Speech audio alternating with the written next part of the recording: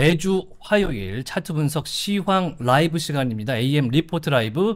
저는 블록미디어의 오진석이고요. 제 옆자리에는요, 오늘도. AM 고영빈입니다. 네, 반갑습니다. 안녕하세요. 일단 저, 저희 뒤에 보시면 이제 AM weekly 리포트가 써 있고, 저희가 화요일마다 이 시간에 11시 반에 어, 여러분들과 함께 이 차트 분석 시황 시간으로 지금 장이 어떻게 돌아가는지, 어, 어떻게 이 모양 이 꼴인지를 네. 확인해 보는 시간을 갖도록 하겠습니다. 일단은 4만 3천 달러 비트코인이 좀 반등을 하면서 네. 어, 많은 분들이 차트를 보고 잔고를 볼 때 흡족할 수 있겠다. 네. 나름대로 생각이 드는데요. 네. 어떻습니까? 흡족하십니까? 아, 네, 저도 뭐 반등에 나와서 행복합니다. 행복하다. 네. 왜냐면 지난주에 장이 워낙에 안 좋았고 지난주 화요일 날 저희가 이제 송승재 이사와 함께 네. 방송을 할 때만 해도 어 이거 뭐 3만 대 중반까지 갈 수 있다라는 어좀 두려운 마음이 네. 저는 개인적으로 좀 들었었는데 어, 그렇지는 않은 상황까지 왔기 때문에 어, 나름대로 어, 만족스러운 어 이번 1월 마지막 주죠. 네. 이제 벌써 한 달이 다 됐습니다. 네. BTC님 안녕하시고요. 오뚜기님 반갑습니다. 소리님 안녕. 좋습니다. 근데 이제 저희가 1월 되고 고영빈 애널리스트랑 몇 번 방송 못 했는데 한 번 했죠? 한 네. 번 했죠. 아, 그 네, 많은 1월 시간 동안 한 번밖에 안 나오셔갖고 네. 캠핑 다니시느라 바쁘셔. 근데 보니까 머리가 엄청 자랐네. 아, 그래요? 네. 예. 머리는 일부러 기르는 거예요? 그게 2주 전에 기르는 중간에 한번 잘랐는데 네. 그 머리가 지금 머리인데 마음에 안 들어서 아 지금 거지존이다. 네, 다시 한번 자르 짧게 괜찮지 자를까? 않아요? 괜찮지 않아? 저는 이제 머리 긴 머리가 상당히 어울리신다. 아, 그래요. 감사합니다. 만약에 이제 이 머리를 보시고 어, 마음에 드신다면 어, 좋아요를 한번 눌러주시고 댓글도 좀 많이 남겨주시면 좋을 것 같습니다. 템버거님, 페페님 안녕하십니까? 페페님 오셨습니다. 아, 네. 아, 제가. 페페를 굉장히 사랑합니다. 네. 귀엽잖아요. 귀엽죠. 네. 여러분들의 이 머리에 대한 의, 의향도 한번 여쭤보겠습니다. 자, 방송으로 들어갈 텐데요. 일단 코인마켓캡 차트를 좀 보겠습니다. 네, PD님 3번 스캔으로 바꿔주시고 네, 지금 보면은 코인마켓캡 현재 실시간 어, 가격인데요. 43,500달러 선에서 거래가 되고 있고 이더리움도 2,320달러 정도 그리고 솔라나가 이제 100달러가 다시 넘었어요. 솔라나를 보면은 21%가 일주일간 올랐다. 네. 와. 지난주 방송할 때 솔라나도 이제 뭐 차트 모양은 예쁘지만 네. 박스권에 들어서 상당히 힘들었다라는 음. 말씀을 해주셨거든요. 네. 솔라나의 이 광폭행진 어떻게 보십니까? 일단 힘 자체가 비트코인 반등 나올 때 계속 비트코인보다 더 크게 올라주는 모습이 계속 음. 나오고 있으니까 계속 매수세는 가장 강한 종목 중에 하나다 이렇게 음. 평가를 하면 될 것 같습니다. 네. 지금 PD님 3번을 보여주시면은 저희 코인마켓캡 화면으로 바꿀 수가 있을 것 같아요. 한번 보여주시고요. 지금 리플도 0.5달러 선이고요. 카르다노 전체적으로 이제 파란불이 들어와 있기 때문에 네. 장 상태는 굉장히 좋아졌다. 네. 그러면 왜 장이 호전이 됐느냐를 좀 음. 알아봐야 되지 않습니까? 일단은 간단하게 어, 어떤 요인에서 이제 좋아졌다고 보세요. 일단 어제 상승을 할 때는 이따가 팀장님 말씀하시겠지만 뭐 GBTC의 그간의 매도 물량보다 그 블랙록의 유입량이 더 많아지는 이제 시기가 왔기 때문에 좀 이런 매수세로 반전이 되지 않았나 이런 기사들을 봤었고 네, 실제로 그런 것이 저희 오늘 아침 기사를 네. 보시면요. 저희 블록미디어 기사인데요. 블록록 거래량 추월에 3%가 올랐다. 이렇게 네. 제목이 되어 있는데 내용을 보면요. 블랙락의 비트코인 ETF IBT, IBIT 거래량이 GBTC, 그레이스케일의 매도 물량을 제친 네. 영향이다. 라고 이렇게 표현이 되어 있습니다. 그러니까 ETF가 승인이 되고 처음에는 이제 매도 물량이 계속 나오다가 수수료가 워낙 비싸니까 혼자 1.5%니까 갈아타려고 혹은 이참에 팔려고 나온 물량이 있었는데 이제 블랙락은 수수료도 낮고 워낙에 큰 회사니까 살려고 하는 사자 행렬이 이제는 조금 넘어섰다. 어, 라는 그런 기사고요. 실제로 이제 백훈종 샌드뱅크 이사가 만든 이 비, BTC ETF fund flow라는 사이트의 차트를 보시면요. 초반에 이제 시작을 했을 때 승인이 나자마자는 매수로 전부 시작했다가 어, BTC, GBTC의 매도 물량 이 위에 보시면 빨간색이 이렇게 이쪽에 나와 있는데 빨간색이 이어집니다. 그리고 하루 정도를 제외하고는 다 마이너스를 크게 치다가 이제 올라갔죠. 그러니까 전체적으로 초록색의 사이즈도 커지고 매수 물량 자체가 어, 많아지면서 이제 이런 큰 기관들이 비트코인을 직접 매입하는 물량이 매수세가 사자가 더 커졌다. 네. 라고 이제 지표적으로도 그렇게 확인할 수가 있습니다. 그래서 우리는 이제 이번 주 이 4만 3천 불의 이 단계에서는 어떻게 액션을 취해야 되느냐, 네. 더 오를 수 있을까? 아, 사실 이거잖아요. 네. 그걸 한번 보도록 하겠습니다. 자, 오늘 AM 어, 매니지먼트 weekly 리포트 잠깐 보면서 시작을 할 텐데요. 좋습니다. 자, 이게 매주 월요일 날 나오는 AM 네. weekly 리포트 화면인데요. 네. 자, 이거 직접 쓰기도 하시잖아요. 네, 맞습니다. 초반에 보면은 이제 호재를 언급한 것이 금리 인하를 먼저 네. 얘기를 하셨어요. 네. 이건 뭡니까? 그러니까 그 이제 이번 주가 macro적으로는 big week라고 하는데 뭐 실적 그 빅테크 기업들의 실적 발표도 예정돼 있고 그리고 이제 가장 중요한 FOMC 회의 일정이 있는데 여기서 이제 1월에는 사실 금리 동결이 거의 기정사실화처럼 됐고 이제 중요한 건 3월에 금리 인하 기조가 이제 나올 것인가가 중요한데 호재라고 하긴 그렇지만 이제 지난주에 있었던 경제지표 발표들을 보면 3월 금리 인하에 대한 기대감이 좀 실제로 낮아지면서 예. 그래서 패드워치에 보면은 이제 트레이더들이 금리에 대한 예상을 해둔 게 있는데 실제로 3월 금리 인하 확률이 많이 낮아진 걸 알 수 있습니다. 그래서 그렇습니다. 이 부분을 좀 주목하셔야 될 것 같습니다. 지금 여기도 쓰셨는데 실제로 지난주를 기점으로 그러니까 1월 3주차를 기점으로 페드워치를 보면요. 3월쯤 되면은 이 FOMC에서 금리 인하가 될 것이다라는 전망이 앞서서 워낙에 약간 암시가 있었기 때문에 전망이 했었는데 이제 어떤 한 부분의 분석가들의 따른 대로 하반기 금리 인하설이 조금 더 힘을 실는 그런 모습이 되면서 어, 요거는 좀 지표적으로는 확인해 볼 수 있을 것 같은데 어찌됐든 간에 올 안에는 금리는 떨어질 것으로 보인다. 네. 특히 오늘 아침에 나온 뉴스에도 현재 부동산 경기가 어, 미국에서 이제 대출 같은 것 때문에 모기지에 문제가 생길 수 있으니 금리를 인하해야 된다. 어, 이런 이야기들이 나오면서 지금 금리적인 부분에 대한 기대감. 금리가 인하된다는 거는 시중에 돈이 어찌됐든 풀린다는 얘기이기 때문에 그 요새는 이제 매크로랑 같이 안 가는 모습을 좀 많이 보였기 때문에 매크로적인 이슈를 제외하시는 분들이 좀 생겨나고 있는데 금리 인하 같은 경우는 실제로 돈의 유동성에 대한 문제이기 때문에 그렇죠. 이 부분은 중요하게 보실 필요가 있습니다. 네, 지금 인하의 네. 유동성에 대한 돈 풀림 이게 네. 사실은 팬데믹 때도 그랬고 그 네. 전에 양적 완화라든지 이런 걸 통해서 굉장히 돈이 많이 풀릴 때에 우리의 주가 상승이라든지 이런 거를 생각하시면은 돈이 풀리면 투자할 때가 많아지니까 당연히 비트코인이나 이더리움이나 가상자산에도 돈이 들어올 것이다. 이렇게 간단하게 보시면 될 것 같습니다. 자, 그 외에도 이제 매크로적인 요소들이 있는데 일단은 우리 시간으로 2월 1일 날, 네. 2월 첫날 FOMC 회의가 새벽에 있습니다.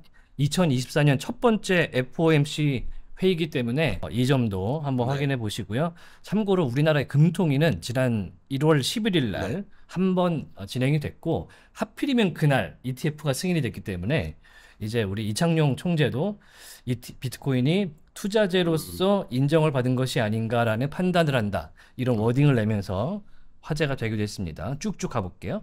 자, 이거는 이제 FedWatch니까 어, FedWatch, CME FedWatch 검색해 보시면 바로 나오게 되고요. 이제 어, 금리 인상 그리고 인하에 대한 그런 내용인데 시가총액상으로도 비트코인이 조금 밀리면서 네.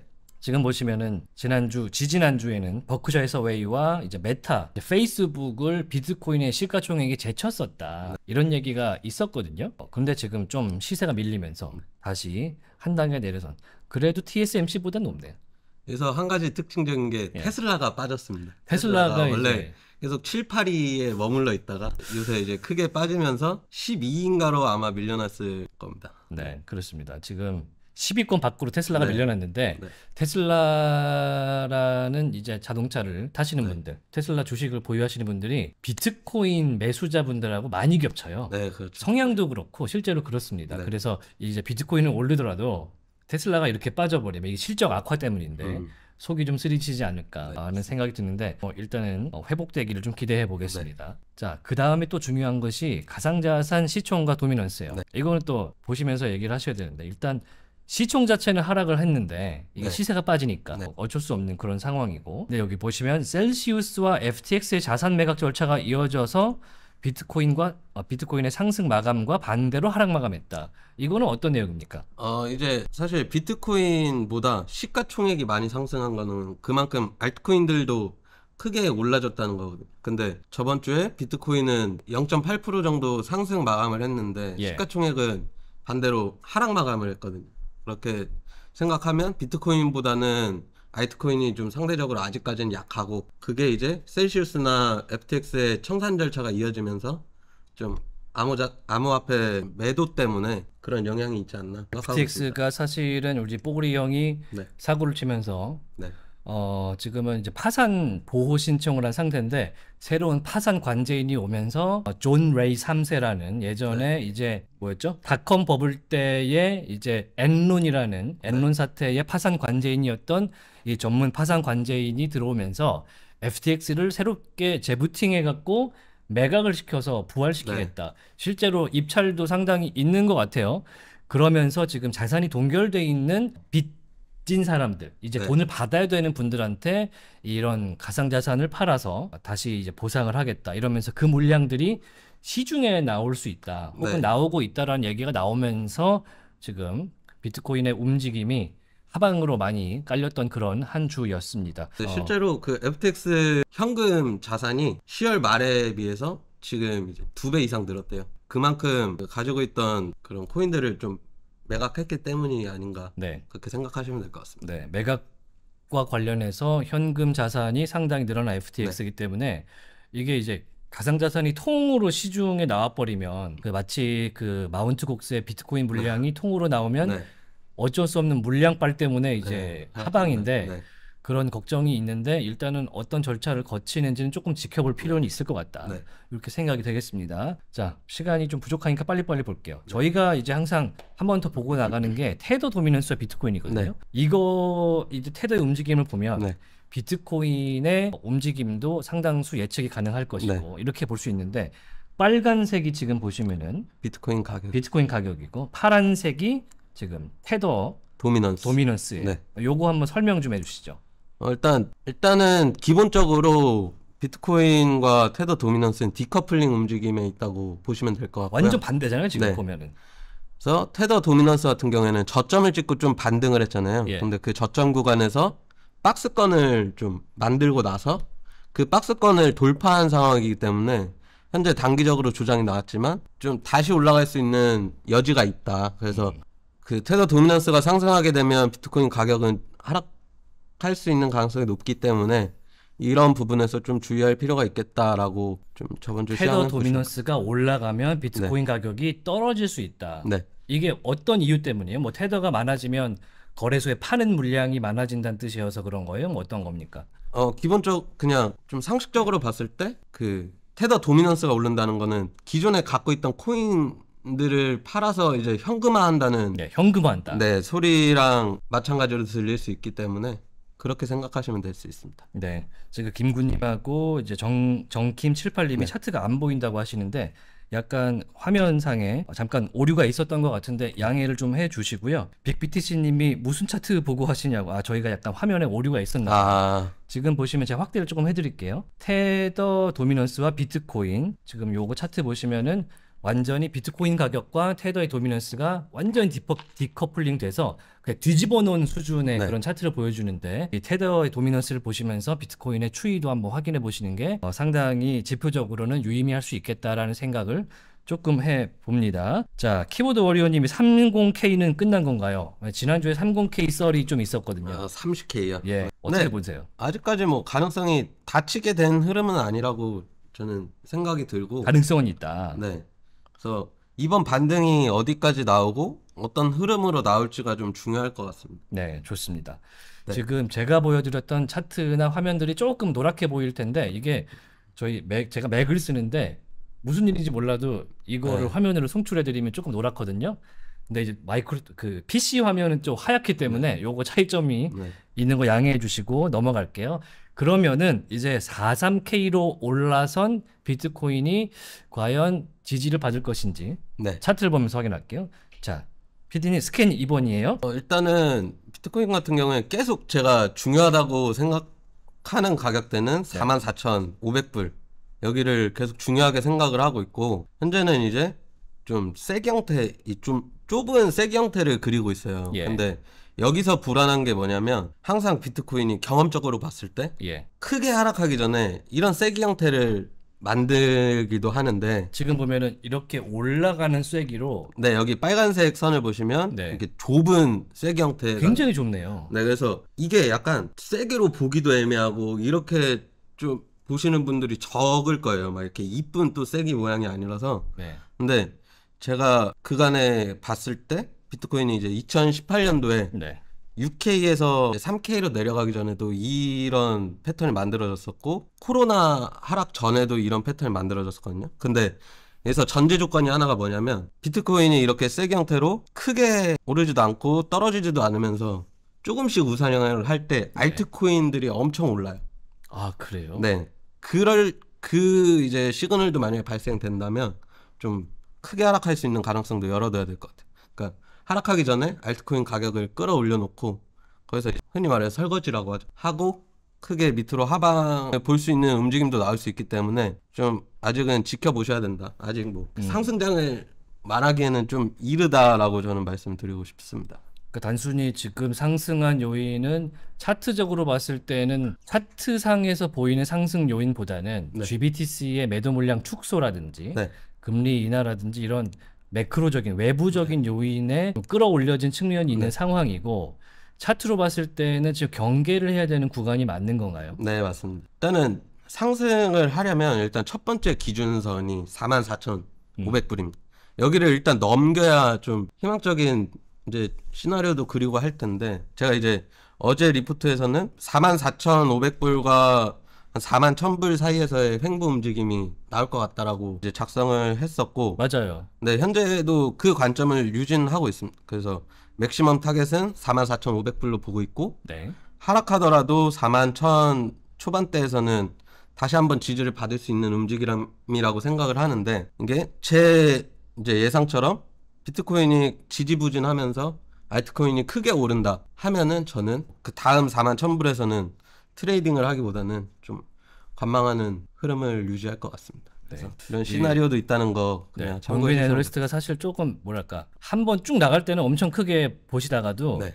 좀 어려운 장에서는 많이 보수적으로 보시는 편인데 네, 뭐 누구나 다 그렇겠지만 그러면 실전적인 이제 이제 일반 보통 보편적인 투자자들 입장에서 지금 그래요 4만 선 밑으로 까진 적도 있다가 네. 최근에 그것도 극 네. 최근에 갑자기 4만 3천까지 올랐습니다. 네. 물론 갖고 계시던 분들은 얼씨구나 좋다라고 하실 텐데 그럼 지금 상황에서 내가 어느 정도를 수익을 봤으면 매도를 해야 되는 것이냐 아니면은 여기서 스탠바이를 해서 그냥 홀딩을 하는 게 나으냐 여러 가지 판단이 있을 거 아닙니까? 그러니까 만약에 알트코인을 들고 계시다면 알트라면 어떤 알트? 저는 그러니까 이더리움 이런 전체적으로 것들? 좀 예. 막 들고 계시다면 아직은 좀 더 지켜보시는 게 저는 좋을 것 같아요. 그러니까 들고 계시, 계시되 이제 만약에 알트코인이 딱 그런 장들이 있어요. 막 커뮤니티에서 와 완전 상승장이다. 알트코인 이것도 오른다 저것도 오른다 막 난리가 만약 나면. 이런 움직임이 나온다. 이 제가 그어드린 이제 빨간색 이런 패턴 안에서 그런 움직임이 나온다 하면 적당한 선에서 전부 매도를 하시는 게 좋을 것 같습니다. 아 그래요. 네. 오히려 지금 알트가 호재를 받- 호재라는 얘기가 나오고 알트가 들썩들썩하면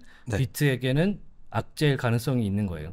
네, 그렇죠. 그 마지막 보통 이제 크게 하락하기 전에 알트코인 가격을 한번 끌어올리거든. 음. 그래서 그런 움직임일 수도 있겠다. 왜냐면 차트상으로 봐도 저점을 한번 낮춘 차트이기 때문에 네. 사실 여기서 크게 하락하는 것도 무리가 없거든요. 그래서 한 번 더 크게 내려갈 가능성이 있는 차트이기 때문에 네. 어, 주의가 요망돼. 아니, 저는 무섭네요. 왜냐하면 이렇게 급격하게 올라가는 모습, 변동성이 지금 일주일 만에 네. 어, 지난주에 저희 방송을 할 때가 4만 초반, 네, 3만 9천 초- 후반 막 왔다 갔다 했거든요. 네, 근데 지금 한 4천 달러가 일주일 자 일주일 만에 네. 오른 상황이기 때문에 어떻게 좀 가이드를 드리면 좋을지에 대한 고민이 저도 들고 사실 여기서 들어가는 건 무리겠다라는 생각이 번뜩 당연히 드는데 저는 제가 좀 이런 패턴 안에서 저는 이제 1월이 며칠 며칠 안 남았지만 1월이나 한 2월 초 초반까지는 이 채널을 이탈하진 않을 거라고 생각하거든요. 그래서 지금 채널이라고 하시면은 이 빨간색. 화면상에서 네, 빨간색 안에서 움직일 것이다. 네, 그러면 이 변동성 안에서 이 지금 만약에 이 채널이 깨진다고 하더라도 한 마이너스 3%가 안 되거든요. 아, 그래서 좀 이게 내려오면 좀 공격적으로 매수를 해도 될 것 같다라는 생각이거든요. 이게 깨지기 전까지. 네. 만약에 이제 제가 4만 3천 불까지 만약에 하락을 해서 4만 3천부터 매수를 한다고 하면은 손절가가 한 1% 정도밖에 안 돼요. 음, 그러면은 사실 이 자리에서 제가 그런 좀 예상을 하고 있잖아요. 알트코인이 좀 크게 오를 것 같다. 비트코인에 비해. 그러면은 이제 손절 대비해서 먹을 수 있는 수익 기대 수익 폭이 좀 크기 때문에 저는 이 채널이 깨지기 전까지는 공, 공격적으로 한번 진행을 해볼 것 같습니다. 내려왔다가 내려왔을 때 한번 조금 네. 분할 매수를 했다가 네. 오르면은 이 채널 안에서는 매도를 했다가 네. 폭은 좁고 수익률 자체는 높지 않지만 네. 단가 자체가 크니까 네. 그래서 비트코인보다는 알트코인 순환매를 좀 노리고 음. 진행을 해볼 것 같습니다. 알트코인에 대한 얘기는 잠시 좀 조금 더 정확히 네. 얘기를 하는데 어, 크립토월드님께서 다음 주까지 어떤 포인트를 포인트라고 볼 수 있느냐, 그러니까 네. 뭘 봐야 되느냐를 좀 말씀을 해주신 것 같고요. 그 유플레이 자팍 다락방님께서 이제 차트를 좀 잘 보시는 분 같아요. 그래서 rising wedge라고 네, 이렇게 맞습니다. 표현을 해 주시고 어, 그리고 다음 주까지 봐야 되는 이유는 월봉 마감과 FOMC가 같이 있어서 그렇다라고 설명을 해주셨는데 네. 아주 아주 정확하게 네, 말, 잘 말씀하셨습니다. 네, 자팍다락방님이 아마도 crypto 관련된 미디어 채널을 운영하시는 분 같아요. 방이라는 방제를 갖고 있으니까. 네, 그래서 알트로 이제 벌써 넘어가면 안 되잖아요. 네, 어떻게 이 포인트를 얘기해 줘야 되니까. 어, 제가 말씀드린 부분을 다 말씀하신 거예요. 그 rising wedge라고 하는 부분도 이제 제가 말씀드린 이 패턴을 영어로 하면 rising wedge인 거고 그 이제 제가 다음 주라고 얘기했던 것도 마찬가지로 좀 big week 이번 주가 지나가고 그리고 나서 사실 이런 게 좀 경험적인 부분인데 하락을 하더라도 이런 주간에 내리는 건 좀 뻔해요. 그래서 오히려 이런 주를 잘 넘어가고 나서 다음 주에 어 이제 상승 분위기가 만들어진다. 이럴 때 하락시키는 게 좀 일반적인 거거든요. 이런 거랑 뭐 월봉 마감도 있고 말씀하신 대로 그렇기 때문에 저는 이번 주는 일단은 잘 넘어갈 것 같다라고 생각을 해요. 음. 그래서 이때 좀 시장 분위기를 많이 좀 주목하려고 합니다. 그 알트코인들이 어떤 움직임을 보이는지. 그럼 이번 주는 이제 주간 상황이 FOMC 회의도 있고 뭐 네. 어떤 내용이 나올지는 모르겠지만 우리가 다 아는 그 내용이 나올 것 네. 같고 하지만 지표적으로 좀 지켜봐야 되는 부분이 있고 네.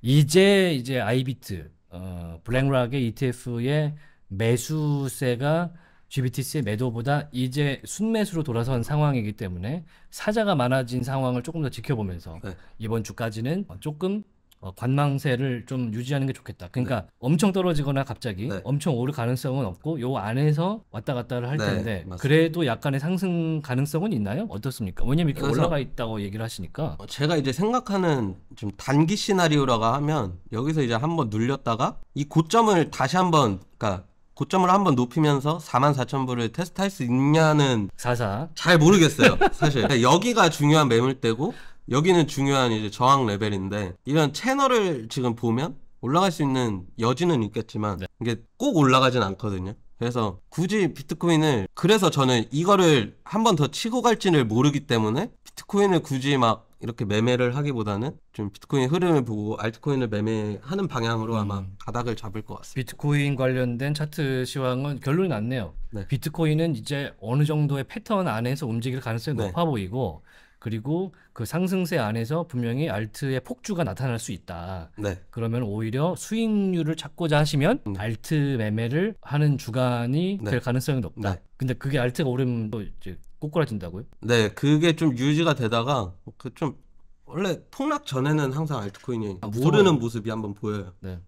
떨어지면 어떻게 해야 돼 나는? 만약에 내가 알고는 있었는데 네. 대응을 못했어. 알트가 올라서 올라서 일단은 알트 위주로 보고 있는데 비트코인이 꼬꾸라지는 타이밍까지는 내가 대응을 못했어요. 그럼 그러니까 어떻게 되는 거예요? 그다음? 처음에 진입을 할 때 좀 전략을 세우셔야 되는데 저 같은 경우는 알트코인을 매매를 어떻게 하냐면 어, 좋아 보이는 종목을 일단 선별을 해요. 그래서 한 다섯 종목에서 열 종목을 선별을 한 다음에 비트코인을 기준으로 잡고 이 포지션을 그대로 갖고 가는 거예요. 근데 비트코인이 만약에 제가 4만 3천 불이 깨지면 손절을 해야겠다고 생각하면 그냥 4만 3천 불이 깨졌을 때 알트코인을 그냥 다 매도하는 편입니다. 음. 저는 이렇게 매매하는 거고 이제 개별 종 개별적으로 어 좋아 보이는 알트코인이 생겼을 때 한 종목을 들어간다 치면은 그 알트코인에 맞는 손절가를 정해서 들어가시거나 아니면은 그 알트코인을 보시더라도 비트코인 손절가를 정해놓고 비트코인이 깨졌을 때 알트코인을 매도하는 그러니까 시도를 진행하시는 alt by alt, 그러니까 개별 종목 상황의 차트나 이제 시황을 보기보다는 네.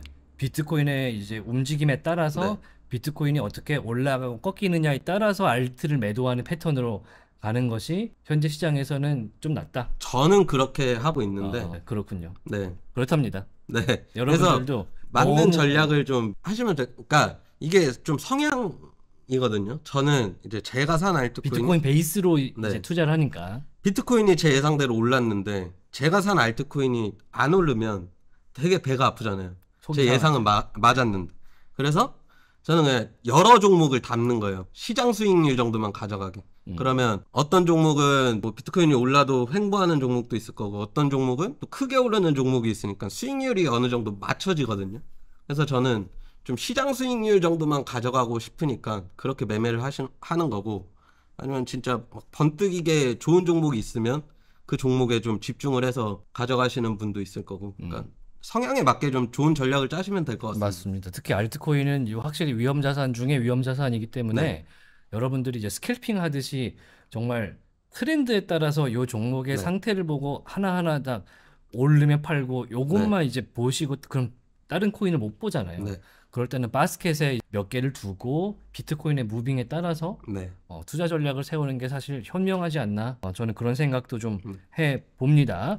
자, 비트코인은 요 정도로 마무리하고 혹시 네. 궁금한 게 있으시면은 답글에 좀 남겨주시면 저희가 비트코인 관련해서는 추가적으로 어, 말씀을 드리도록 하겠습니다.